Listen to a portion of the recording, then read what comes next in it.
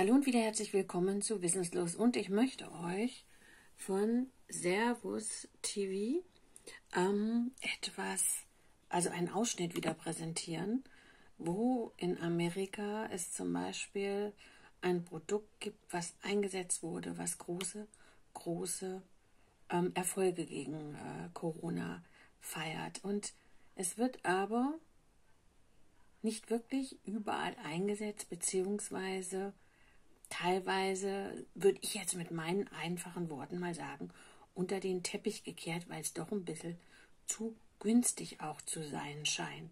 Und irgendwie werde ich das Gefühl nicht los, da gibt es Sachen, die wir nehmen könnten, aber das ist nicht wirklich gewollt. Aber schaut hier mal wieder rein. Sehr, sehr interessant, sehr spannend.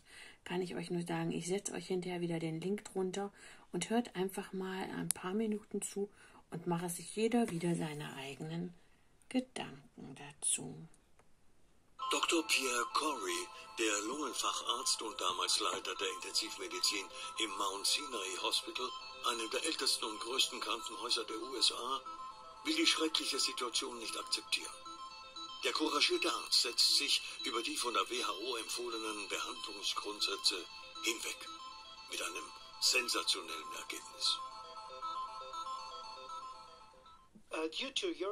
Aufgrund Ihrer Untersuchungen, Arbeit und Initiative wurden Corticosteroide Teil eines Standardbehandlungsregimes.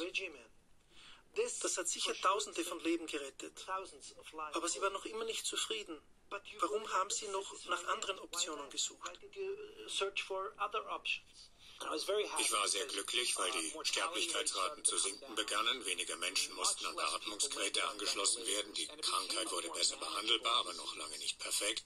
Viele Menschen sind immer noch dran gestorben. Der Zulauf auf die Intensivstationen hielt an. Ja, genau das wollte ich jetzt ansprechen. Sie haben nach anderen Medikamenten gesucht und am Schluss Ivermectin gefunden. Warum gerade dieses Medikament? Nun zuallererst aus wissenschaftlichen Gründen. Die Datenlage war überzeugend. Das ist die kurze Antwort. Ich möchte aber auch sagen, Ivermectin wurde während der Pandemie überall auf der Welt in verschiedensten Bereichen eingesetzt, aber seine Wirksamkeit war nicht gut untersucht und die Leute, die wussten, dass es funktioniert, haben das nicht ausreichend kommuniziert. Das verstehe ich nicht, denn nachdem wir die Wirksamkeit von Ivermectin analysiert hatten, wurde uns klar, dass sich tatsächlich eine Konsistenz, so würde ich das nennen, herausstellte. Behandlungen in unterschiedlichsten Ländern, unterschiedlichster Größe und in unterschiedlichsten Zentren führten alle zum gleichen und zwar zum verifizierbaren Ergebnis. Mal in größerem, mal in kleinerem Ausmaß, aber alle waren positiv. Aus langer Erfahrung kann ich Ihnen sagen, dass Studien über die Wirksamkeit von Therapieformen immer Konfliktpotenzial bergen. Es gibt unterschiedliche Ergebnisse. Aber hier zeigten sich diese außergewöhnliche Konsistenz und klare Vorteile in der Behandlung. Daher wurde uns klar, dass dies Mittel sehr effektiv in der Bekämpfung der Krankheit sein kann. Die Wirkung von Ivermectin war so überwältigend, dass Dr. Corey im Dezember 2020 vor den US-Senat zog. Sein Ziel? Die nationale Gesundheitsbehörde sollte dieses Medikament in die Richtlinien zur Therapie aufnehmen.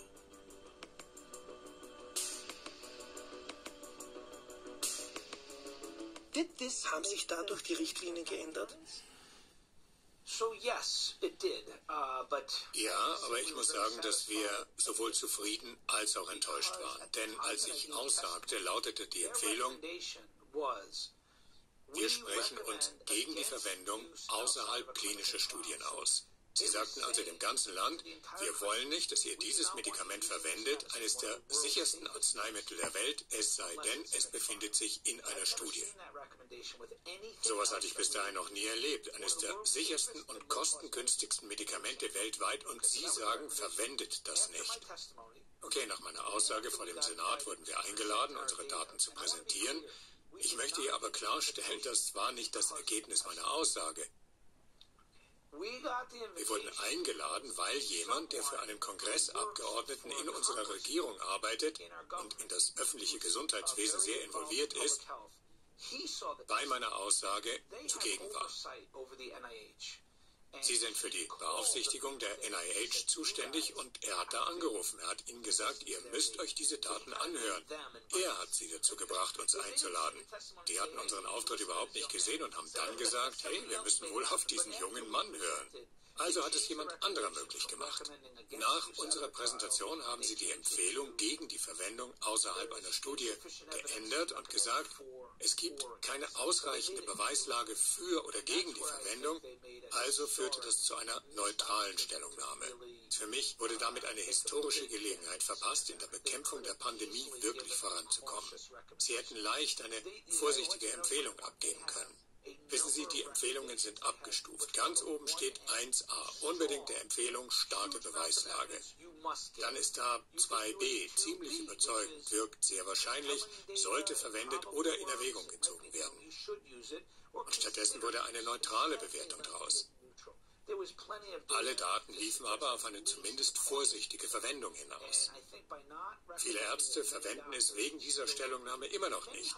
Die Verwendung wird in vielen Krankenhäusern in diesem Land von den Leitern der Infektiologien untersagt. Ich habe überall Kollegen, die es nicht verschreiben dürfen, weil ihre Chefs ihnen das untersagen. Ich meine, das muss ein bisschen frustrierend sein. Aber auf der anderen Seite denke ich, dass die Verwendung von Ivermectin auf der Grundlage dessen, was das NIH sagt, jetzt erlaubt ist, dass die dem nicht widersprochen haben, doch positiv gesehen werden kann, dass das ein wichtiger Schritt nach vorne ist. Es war ein Schritt nach vorn. Ja, es war ein Schritt nach vorn. Ich muss Ihnen sagen, ich weiß, wie hoch die Anzahl der Verschreibungen bei uns im Land ist.